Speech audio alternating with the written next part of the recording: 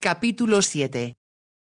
Amaneció antes que el vehículo se detuviera. ¿Qué ocurre? preguntó Narda. Supongo que están cambiando las postas respondió Elsie. Finja estar dormida o la drogarán. Aunque el corazón le latía con frenesí, Narda hizo un esfuerzo y cerró los ojos. Se reclinó hacia atrás con la cabeza inclinada como si estuviera dormida. Se dio cuenta de que un hombre vino para supervisar a las demás pasajeras. Ella sabía que, tal como se lo había informado Elsie, en el carro estaban otras ocho mujeres. Había podido verlas con la luz que entraba por el costado del carro. Este aparecía completamente cubierto con una lona burda. Las pasajeras permanecían sentadas en cómodas sillas que habían sido colocadas en filas de cuatro en cuatro. Las chicas casi yacían sobre estas y tan calladas que a Narda le pareció impresionante. Ahora un hombre quitó la lona de un lado del carro. Ella deseó mirarlo para ver qué clase de persona era pero sabía que su única oportunidad de escapar estaba en hacer todo cuanto él sí le había sugerido. El hombre permaneció junto a la abertura hasta que otro llegó a su lado.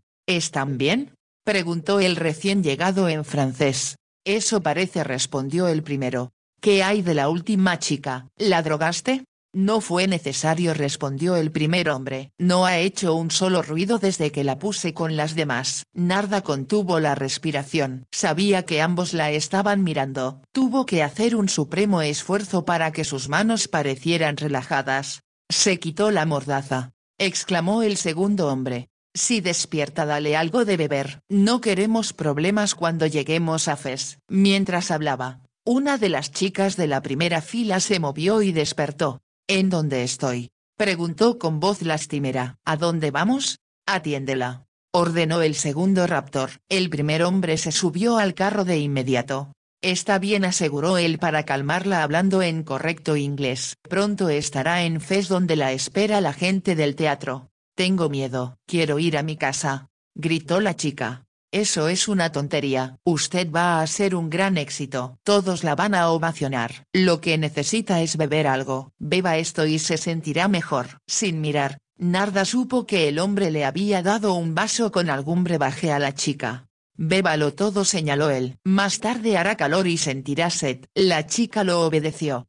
Ahora duérmase y olvídese de todo excepto del éxito que va a tener cuando baile. La chica murmuró algo antes de quedar inconsciente una vez más. Después de esperar unos momentos para ver si volvía a hablar, el hombre se bajó del carro y cerró la lona. Cuando los caballos frescos se pusieron en marcha, él sí comentó. Él manejó la situación con habilidad. ¿Comprende que si comemos o bebemos algo perderemos el sentido? Tengo sed repuso Narda, pero, tiene usted razón. Yo no me he atrevido a comer nada desde que salimos de Inglaterra señaló Elsie. Tan pronto como me di cuenta de lo que ellos estaban haciendo recordé lo que mi padre me había comentado acerca del tráfico de esclavas blancas y sé cuán horrible es. Su voz tembló mientras hablaba. Narda le tomó la mano una vez más y la apretó. Estoy segura de que mi hermano nos salvará de alguna manera. Esperemos que así sea respondió Elsie. Pero, ¿Cómo vas a ver dónde estamos? Narda no respondió, solo esperaba que el marqués conociera gente que estuviera adentrada en los secretos de Fes, y que pudiera acudir a ellos en demanda de ayuda. Transcurrió un buen rato antes que Narda le preguntara a Elsie. ¿Y si no logran rescatarnos qué vamos a hacer? Hubo una pausa antes que Elsie contestara. Yo pienso matarme, no sé cómo, pero ya encontraré la manera. Yo debo hacer lo mismo murmuró Narda. Sin embargo, ella sabía que no quería morir. Quería encontrar al marqués una vez más, hablar con él y sobre todo añoraba su presencia. Ayúdame Dios mío rezó con fervor. Yo quiero vivir y si muero él nunca sabrá dónde estoy o qué me ha ocurrido. Cuando llegaron a Fes, la tarde ya había caído y estaba oscuro. Aunque no podían ver nada, Narda estaba segura de que habían llegado a la ciudad, podía escuchar los sonidos de la calle y el golpeteo de los cascos de los caballos sobre el empedrado. Comprendía que él sí estaba tensa pues quizá pensaba que aquel era el momento cuando deberían escapar. Los caballos se detuvieron. Un hombre subió al carro y exclamó, Despierten muchachas, ya hemos llegado y hay gente esperando para conocerlas. El efecto de las drogas debió de haber estado llegando a su fin. Sin embargo, Algunas de las chicas que habían estado drogadas por mucho tiempo parecían no querer hablar. Miraban a su alrededor como atontadas, con las pupilas dilatadas. Había sido difícil ver cómo eran ellas, pero ahora Narda pudo comprobar que todas tenían los cabellos dorados. Sabía que a los árabes les gustaban las mujeres rubias. La idea la hizo estremecerse. Ahora el hombre que daba las órdenes hizo que dos de las chicas de la primera fila se pusieran de pie. Otro más le alcanzó unas batas largas y amarillas que eran usadas por la mayoría de la gente en Fes. Estas tenían capuchones de punta que cubrían la cabeza y gran parte de la cara. Esto hacía imposible definir el sexo de la persona. Una vez que el hombre terminaba de vestir a cada muchacha, la empujaba hacia la abertura del carro, de inmediato, era bajada al suelo. Afuera una antorcha dejaba ver lo que estaba ocurriendo. Narda pudo observar cómo un hombre se llevaba a la primera de las chicas mientras que otro sacaba a la segunda. Como ella estaba hasta el fondo del carro, Solo faltaba una chica cuando él sí y ella salieron. No fingió estar atontada como las demás. El hombre le puso un capuchón sobre la cabeza y le abotonó la bata al frente. La impulsó hacia la abertura donde fue levantada por otro sujeto que estaba afuera. Este se alejó llevándola del brazo. Entonces pudo darse cuenta de que se encontraban en una callejuela donde aún permanecían algunos comercios abiertos. El aire parecía lleno del ruido rítmico de los herreros. Ahora cuando la alejaron del carro pareció que había más gente en la calle, se escuchaban los gritos de los vendedores mientras que otros hombres que guiaban burros cargados gritaban, Balek, Balek, ¿qué quiere decir abran paso? Narda había estado en las calles de Constantinopla y de El Cairo, por lo que reconoció el aroma de las especias, del cedro recién cortado y el chisporrotear del aceite hirviendo. Siguieron su camino y Narda repudió las piedras grasientas sobre las que resbalaba con sus pies descalzos. El hombre que caminaba junto a ella se detuvo de repente. Al instante, sintió que la empujaban por una puerta que de inmediato se cerró detrás de ellos. Estaba oscuro pero él siguió caminando, tirando de ella. De pronto llegaron a un patio donde había una fuente. Se percibía el aroma de las flores. A la luz de varias lámparas, Narda pudo ver que era un lugar lujoso, con pisos de mosaico y mármol. Obviamente, pertenecía a algún hombre muy rico. El hombre que la escoltaba no habló. Ambos atravesaron el patio, Pasaron por otra puerta y subieron por una escalera. Momentos después hizo a un lado una cortina. Ahora se encontraban en una habitación grande, amueblada con divanes y grandes cojines colocados sobre una mullida alfombra. Las demás chicas ya se encontraban allí sentadas como si estuvieran demasiado débiles para poder hablar. La mayoría de ellas miraban al infinito, como hipnotizadas. Narda trató de comportarse de la misma manera, pues pensó que era lo más prudente. Indolente, dejó que el hombre que la acompañaba le quitara el capuchón. Enseguida la sentó en un diván. Narda se mantuvo en una posición como si estuviera demasiado débil para moverse. De pronto, vio que Elsie también entraba en la habitación. Elsie se sentó junto a ella. Unos minutos más tarde la última chica fue conducida en brazos, pues era la que en peores condiciones se encontraba. La colocaron en una esquina, con cojines en la espalda. Estaba demasiado drogada como para moverse. El hombre que la trajo le indicó a otro que lo había seguido. Esa es la última. El hombre a quien le habló miró a su alrededor. Entonces ordenó en francés. Deles de comer y de beber. Yo le avisaré al amo que ya están aquí. Salió de la habitación y varios sirvientes entraron llevando bandejas con alimentos. En ellas había pollos asados y montañas de cuscús. También llevaron cordero con frijoles amarillos y semolina. Abundancia de aceitunas, nueces, yogurt, pastelitos y pan. Como tenía hambre y sed, Narda sintió que la boca se le hacía agua. Tenga cuidado sugirió Elsie en voz baja. ¿No debemos comer nada? Solo las frutas le advirtió Elsie. Por un momento, Narda pensó que no había ninguna, pero en ese momento vio a un sirviente que traía una canasta con higos, granadas y otras frutas. Al entrar, el hombre dijo en voz alta y en inglés. Vamos muchachas, estoy seguro de que tienen hambre. Cuando terminen beberán té de menta que es delicioso. Narda supuso que dejaban aquello para el final, pues sin duda contenía una gran dosis de droga. Ella deseaba probar algo de comida. Con gusto hubiera comido el pollo y el cordero, pero entendía que él sí tenía razón. La única oportunidad de escapar sería cuando los hombres encargados de cuidarlas pensaran que estaban drogadas. Poco a poco las chicas se fueron acercando a la mesa. Narda y Elsie hicieron lo mismo. De haber sido árabes se habrían sentado en el piso con las piernas cruzadas, pero ellas se quedaron en cuclillas. Él sí tomó dos higos y dos granadas de la cesta y las colocó delante de Narda y de ella. Las frutas ciertamente ayudaron a calmar la sed. También había algunos plátanos pequeños. Narda estaba segura de que estos no estaban drogados. El hombre que las vigilaba estaba aburrido y bostezó varias veces. Cuando las chicas comieron lo suficiente, él indicó,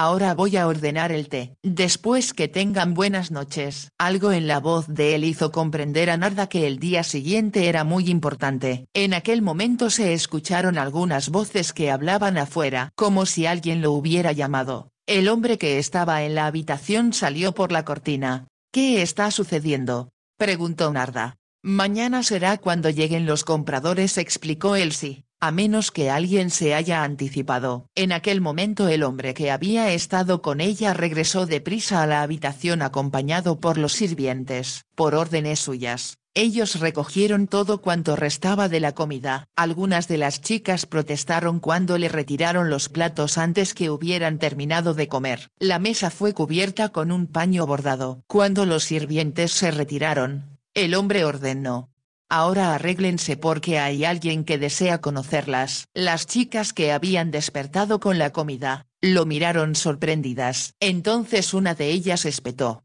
Estoy cansada. Deseo irme a dormir. Podrán dormir más tarde repuso el hombre. Arréglense el cabello y pónganse presentables. La chica pareció no comprender y regresó al cojín donde había estado recostada antes que trajeran la comida. Él sí llevó a Narda hacia el diván. Este estaba al final de la habitación, por lo que se encontraban varias chicas entre ellas y la entrada. El ruido de las voces del exterior se hizo más fuerte, en ese instante el hombre que hablaba francés entró en la habitación. Detrás de él venía un árabe de elevada estatura. Llevaba puesto un caftán blanco que lo cubría por completo y en la cintura tenía una daga grande enfundada dentro de una vaina de oro con la empuñadura decorada con joyas. Llevaba turbante y tenía una barba canosa. En los pies calzaba babuchas él sí se había puesto tensa ya que sabía por qué estaba él allí. Narda cerró los ojos llena de miedo. Pudo escuchar al hombre que hablaba francés decir en árabe,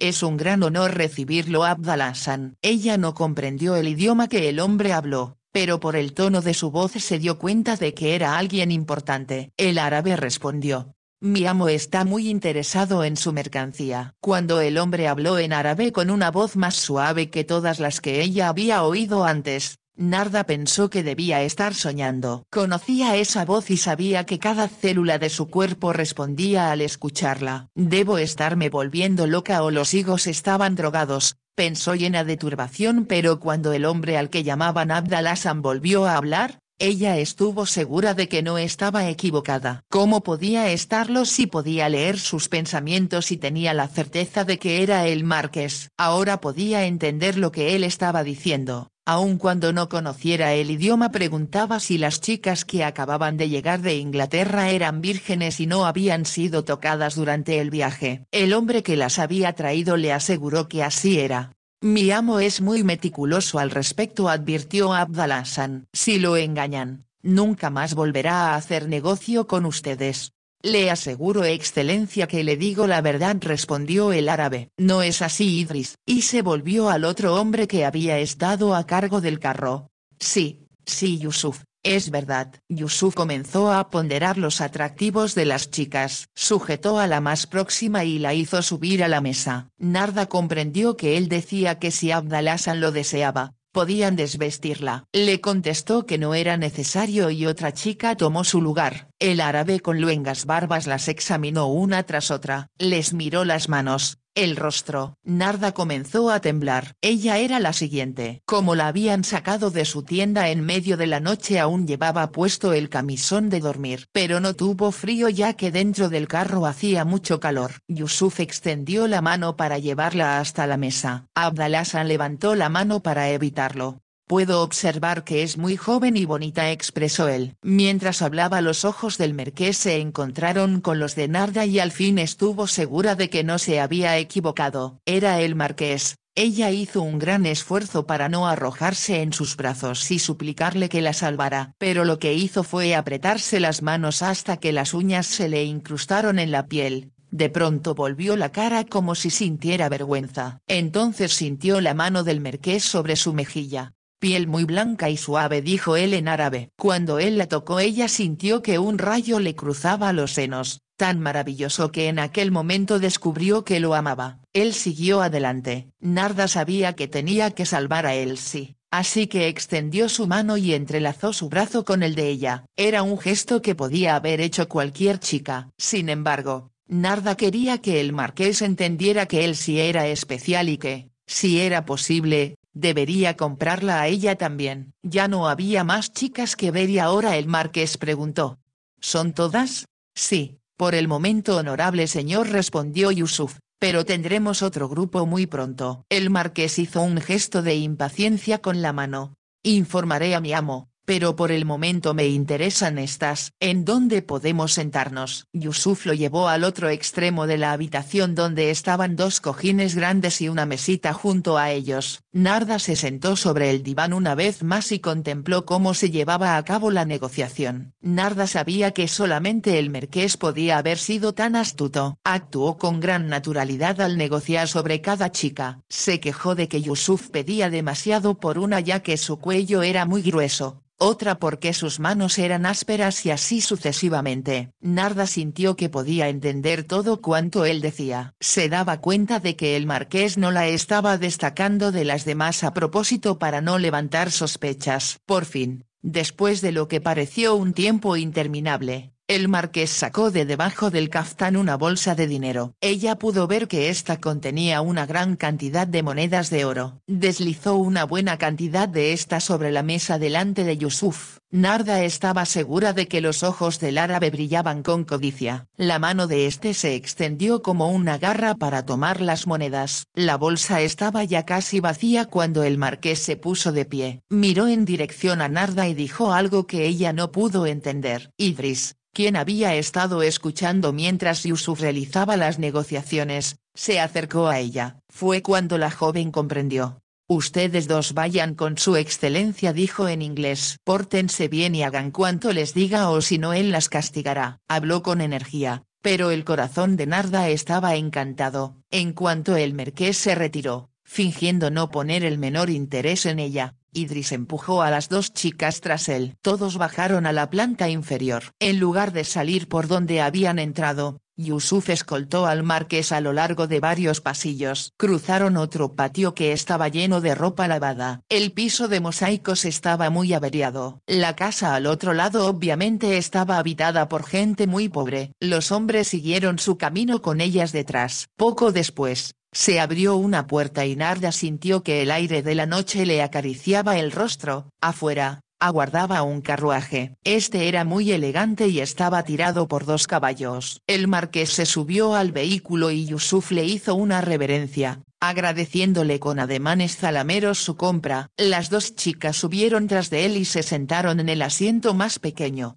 de espaldas a los caballos. La puerta se cerró. El carruaje se puso en marcha mientras que los dos árabes hacían reverencias. El camino por el cual avanzaban apenas si tenía algunas luces ocasionales en la puerta de algún comercio cerrado. El marqués no habló, así que Narda permaneció en silencio. Después de varios minutos, él sí preguntó con voz temblorosa.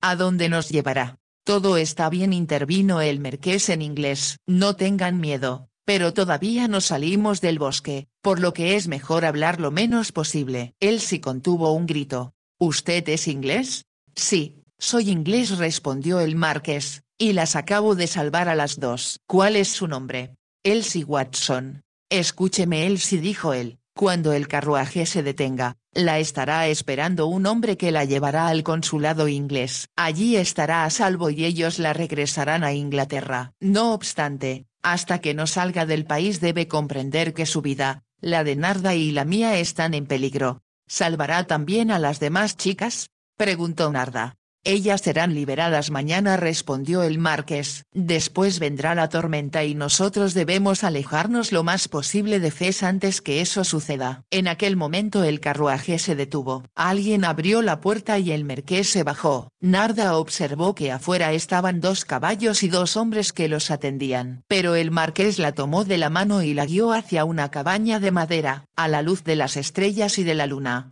Narda pudo ver que se encontraban en un terreno árido, en las afueras de Fes. Cuando el Merqués y Narda entraron en la cabaña el carruaje se alejó, a Narda le pareció que regresaba por donde ellos habían venido. Él sí lo siguió y dentro de la cabaña había una pequeña habitación iluminada. Las ventanas permanecían cerradas. Hay comida y café negro dijo el marqués. Estaba rezando porque no estuviera drogada. Él sí me salvó de eso. exclamó Narda. Le estoy muy agradecido repuso él. Le prometo que me ocuparé de usted, pero ahora deseo que parta de inmediato. Es muy importante que nadie sepa dónde estamos ni qué está ocurriendo en tanto las demás chicas no hayan sido liberadas. ¿Me comprende? Sí. Por supuesto estuvo de acuerdo Elsie. Y gracias, Muchas gracias. Elsie estaba llorando por primera vez desde que se habían conocido. Las lágrimas se deslizaban por sus mejillas. Narda sabía que eran lágrimas de alivio y de felicidad porque había sido rescatada y ya no tendría que quitarse la vida. Narda y yo nos pondremos en contacto con usted tan pronto lleguemos a Inglaterra prometió el marqués. Pero ahora debe marcharse pues cada minuto que permanecemos aquí estamos en peligro. Narda abrazó a Elsie y la besó.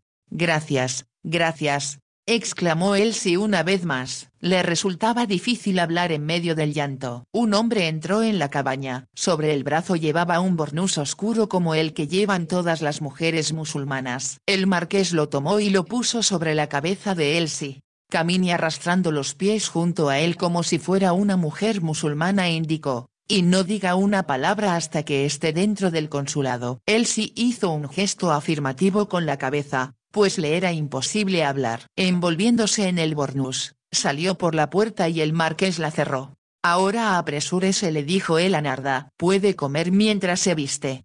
Estando con su señoría ya puedo afrontar cualquier cosa respondió Narda. La joven se acercó a la mesa y comió algo. Entonces vio que sobre una silla había alguna ropa. Enseguida se quitó el camisón y mientras lo hacía se percató de que el marqués se había alejado hasta una esquina, volviéndose de espaldas. Ella se vistió con premura. Él le había traído ropa interior y una falda de montar con una chaqueta que cubría una blusa blanca. También encontró unas botas de montar. La ropa no era de Narda, pero le quedaba bastante bien, excepto por las botas que estaban un poco grandes. Cuando se volvió para comer algo más, observó que el merqués se había quitado la barba y el resto del disfraz. Llevaba puesta la ropa de montar con la cual había bajado del yate. Beba un poco de café sugirió él. Preferiría beber algo que me quitara la sed respondió Narda. He tenido mucha, pero él sí me advirtió que no comiera ni bebiera nada porque podía estar drogado.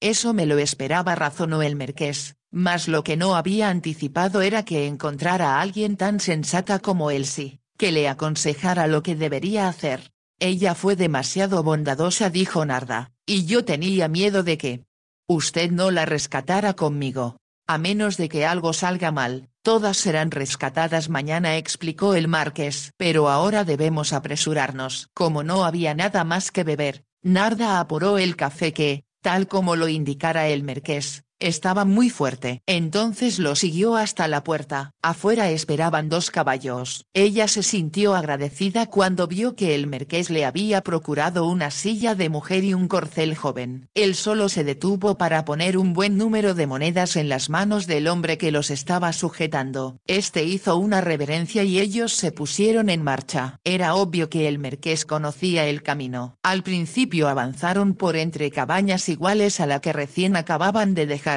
más pronto de lo que parecía posible, Las murallas de Fez quedaron atrás. Avanzaban a campo traviesa. El marqués cabalgaba muy rápido y los caballos respondían sin necesidad de utilizar el látigo. Narda casi no podía creer que todo aquello fuera verdad. Le parecía imposible que alguien hubiera podido ser tan hábil. El marqués las había rescatado de lo que hubiera sido un infierno indescriptible. Mientras cabalgaban, la joven no tenía miedo de que los persiguieran o que evitaran que llegaran al yate. Sabía que sus oraciones habían tenido respuesta. Dios envió al marqués para rescatarla, tal como ella lo había pedido. Cuando comenzaba a salir el sol llegaron a un oasis solitario y muy similar al que habían usado para acampar la primera noche. Cuando él avanzó entre los árboles, Narda vio que allí había dos caballos frescos y dos hombres que los cuidaban. También descubrió alimentos y bebidas en el suelo. Narda se alegró de poder bajar de la silla, comió lo que había y bebió el inevitable té de menta. Mientras lo hacía, el marqués sugirió,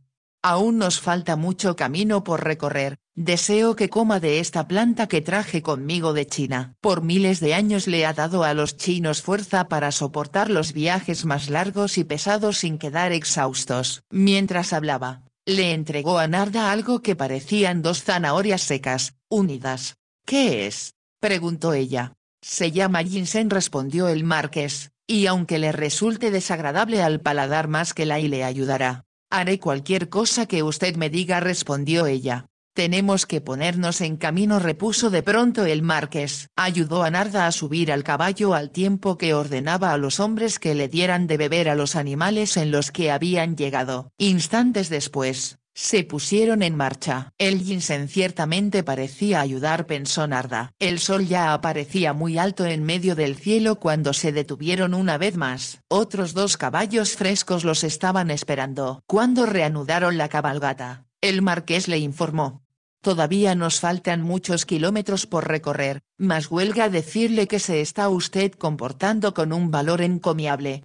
Después de lo ocurrido, tengo demasiado terror como para decaer agregó Narda. Por favor, deme otro poco de su ginseng. El marqués le ofreció otra porción y ella lo masticó mientras cabalgaban y cabalgaban. Finalmente, Narda ya no pudo negar que se sentía como si se fuera a caer de la silla. El marqués debió darse cuenta de lo que estaba sucediendo sin que ella se lo dijera. Le extendió el brazo y sujetó las riendas de la montura de ella, acercando a los dos animales. Narda podía asirse de la parte delantera de su silla para no caer. No puedo fallarle ahora, pensó ella. Continuaron cabalgando más y más. Sin embargo, cuando Narda sintió que iba a tener que pedirle que se detuvieran aunque fuera solo por unos minutos, el marqués anunció, el mar está justo adelante y el delfín nos estará esperando allí. Ya era de tarde y las sombras de los pocos árboles presentes parecían alargarse enormemente. Narda advirtió que una vez más se hallaban en las tierras secas que había visto cuando salieron de Kenite. Buscó con la mirada el puerto,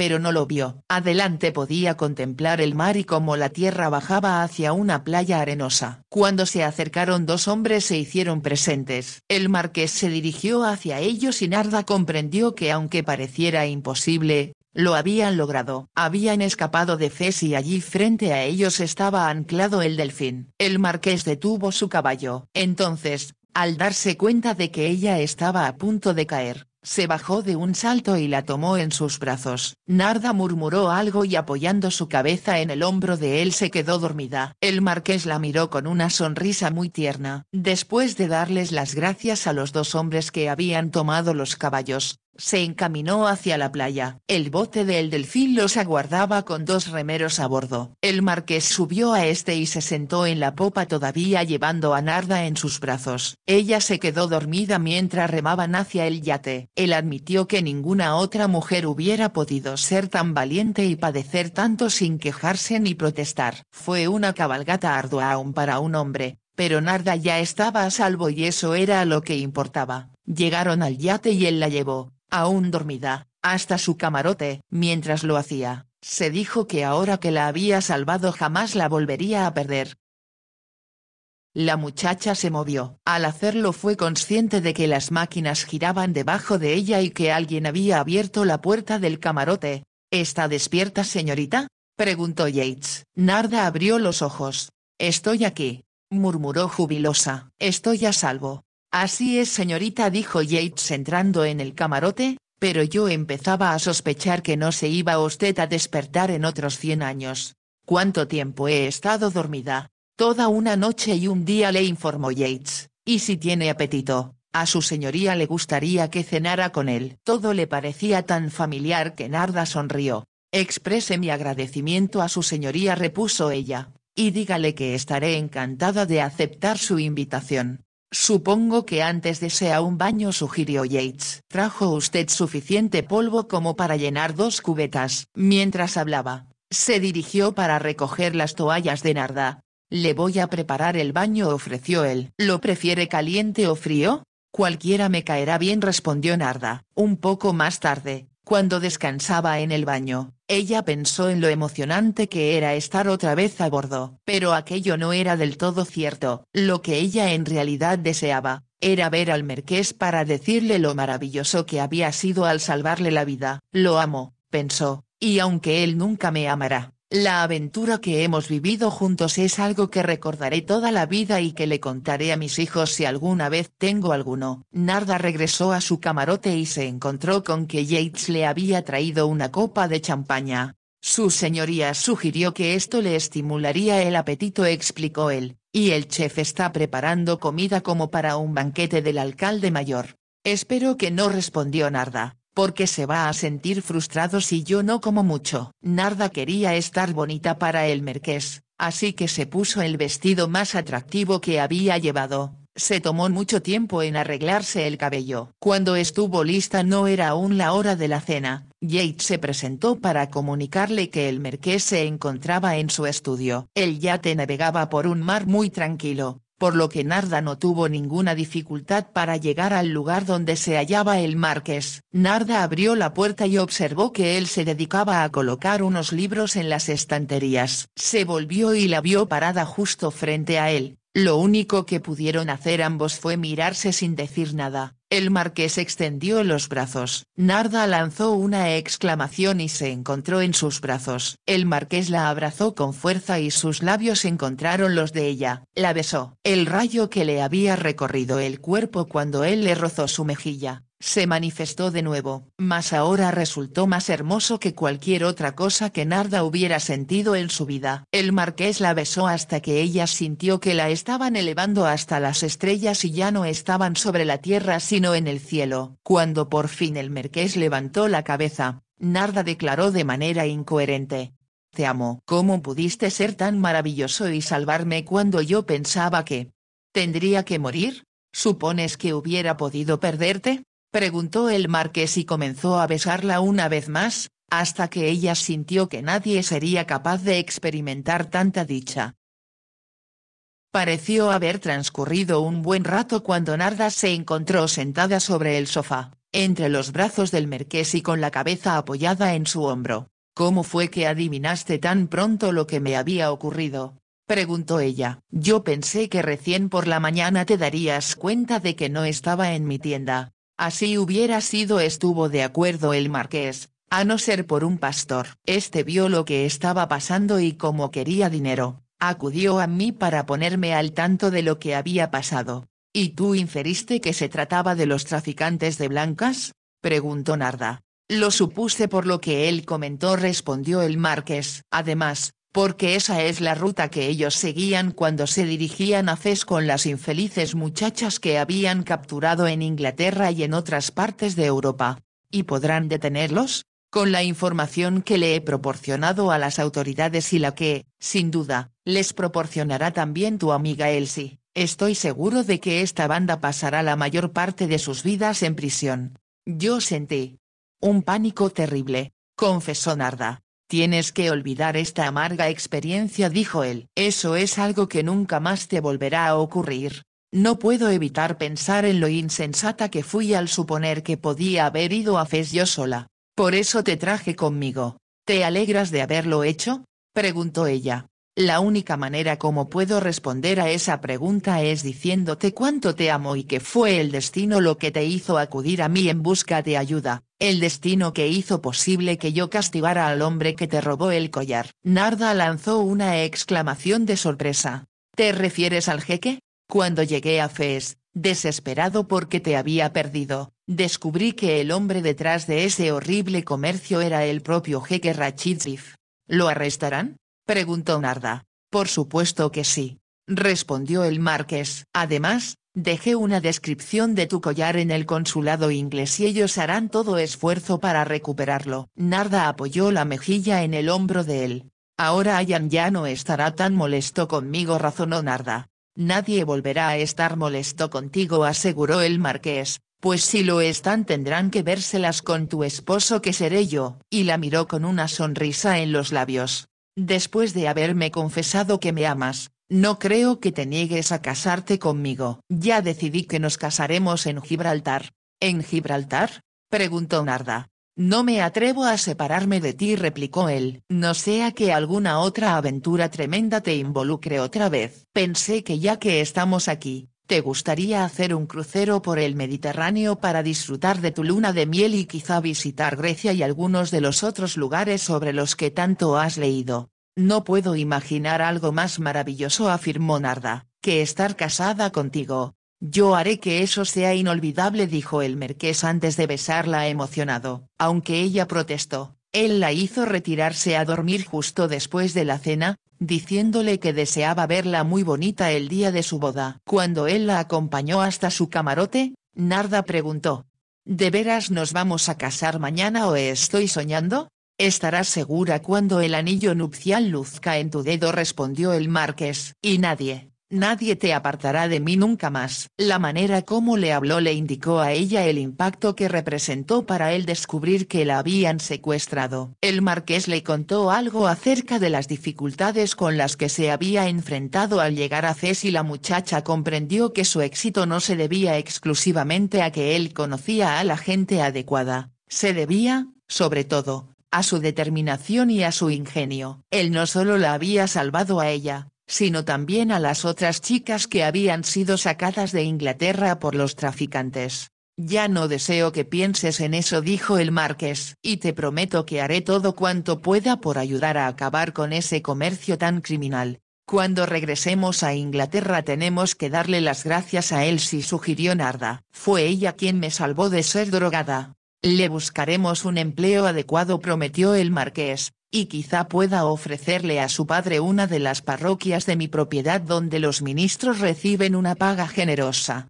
Todo lo que tú haces es maravilloso afirmó Narda. El marqués la besó y salió del camarote cerrando la puerta. Cuando fue al suyo supo que había encontrado a la mujer que siempre había deseado tener. Narda lo mantendría enamorado de ella por el resto de su vida. Ella es única se dijo él cuando se fue a la cama.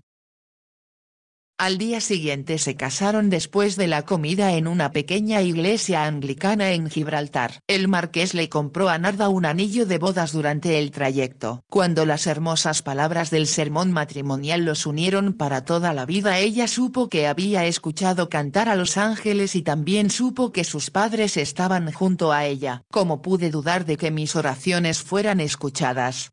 Se preguntó arrepentida. Al volver al yate fueron recibidos con la sirena. El capitán los felicitó mientras que la tripulación los vitoreaba. El cocinero les había preparado un pastel de bodas. Cuando Narda entró en el camarote principal, que ahora era suyo, lo encontró lleno de flores que Yates había comprado en el pueblo. Tan pronto como la nave zarpó, el marqués llevó a Narda a su estudio. Por fin no tenemos nada de qué preocuparnos a no ser de nosotros mismos dijo él. Ahora puedo decirte cuánto te amo, mi amor, y eso va a llevar mucho tiempo. Tanto como yo te amo a ti respondió Narda. ¿Cómo imaginar cuando fui a aquella fiesta que la presencia del jeque provocaría todos estos eventos extraordinarios? Ahora me estás asustando tanto como cuando entré en Fes. Se quejó el marqués, yo sabía que era solo una cuestión de tiempo el que te vendieran a un árabe. Suspiró y continuó diciendo.